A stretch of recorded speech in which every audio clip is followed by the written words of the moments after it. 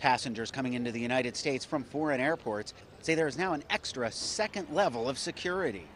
Hand pat downs of passengers on most or all international flights coming into the U.S. are routine, say many of those who arrived at Newark Liberty International Airport in New Jersey on Monday.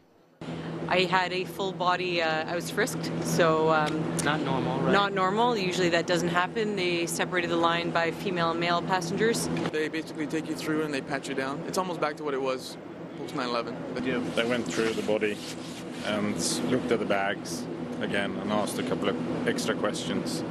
Um, the lines were, I think, a little bit longer than they normally are, and uh, you know, you, you were patted down, but that was about it.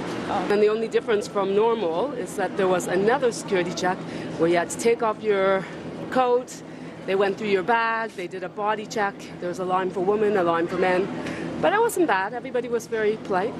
The Obama administration says citizens from 14 nations will be subjected to intense security. Those are Cuba, Iran, Sudan, Syria, Afghanistan, Algeria, Lebanon, Libya, Iraq, Nigeria, Pakistan, Saudi Arabia, Somalia, and Yemen. Most or all travelers from those countries will be patted down, have their bags searched, and checked for explosive traces, in addition to the regular security. Officials say the intense scrutiny of those coming to the United States from the 14 countries on the list will continue indefinitely. When this family from Iran arrived in Newark on Monday, in addition to pat downs and other security, they were fingerprinted in Toronto on the way into the U.S. They just like question, ask questions, fingerprinting, and this kind of stuff. Yeah. how did it make you feel? Well, not actually not very comfortable because it took us an hour like to take to our flight, and like we missed our flight when we were coming here.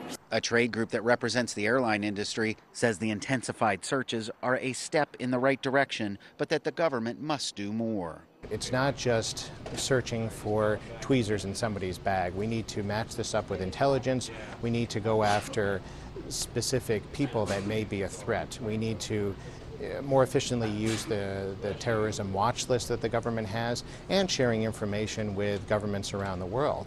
The increased security comes in the wake of the arrest of a man from Nigeria who tried to bomb a flight coming into Detroit.